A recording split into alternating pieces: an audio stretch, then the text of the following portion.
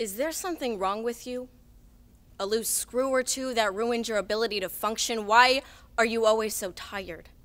Your life is uninspired and small. All you do is sprawl on the couch with outstretched limbs like a sloth in slow motion. Where is your devotion to succeed, Maia? Did it drift out your window with the smoke from your weed? Do I have to force feed you discipline till you finally concede? I cook and I clean and I don't stop till the soles of my feet bleed. But I'm fine. I'm perfect. Be perfect, Maia. Be perfect like me. Stop wearing those god awful ripped pants and that lipstick like a whore with double D implants. You only get one chance. Stop acting like a cat with nine lives left. Stop committing yourself to songs and stories and spoken slam bullshit in a world where degrees and PhDs impede the need for poetry. And stop chewing on your nails. No wonder you've never attracted any males. Why do you do that? Do you like the taste? Are they sweet? You can't eat sweets, Maia. You're ruining your teeth like you're ruining your life. My teeth are perfect.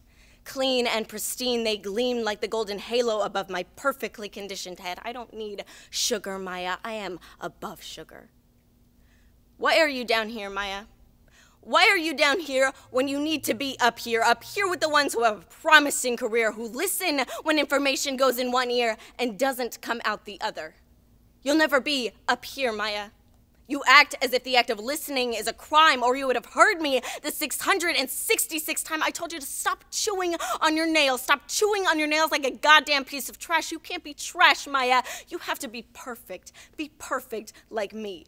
I get up at 5 in the morning every day. I start my day the same way, worried that I'll collapse as my bones start to decay from cleaning up your scraps. Why is your room such a mess?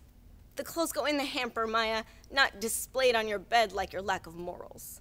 Not littered on the floor, collecting more dust than my withered expectations. You disregard my rules with stubborn contempt in a substandard attempt at teenage rebellion, but you can't be a rebel, Maia. You're not interesting enough.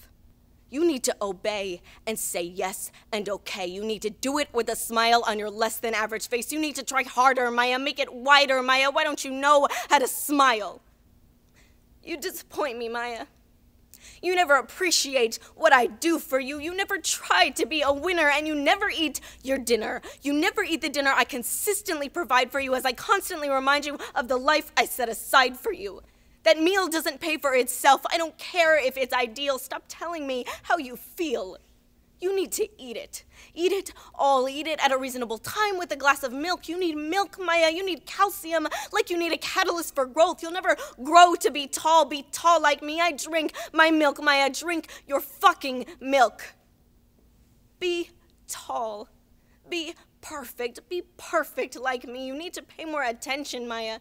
Stop daydreaming, Maia. Stop staring at the ceiling as if your one redeeming quality lies hidden in the plaster. You need to organize your life. Your life is a disaster, just like your room, just like your teeth, just like your future, which will soon come to an end if you don't put down that pen. You need to stop writing, Maia. Your life is not a book. Don't give me that look, Maia. I'm just trying to help you. I'm just trying to love you. I'm just trying to love you. You have to let me love you so that you can be perfect. Be perfect like me.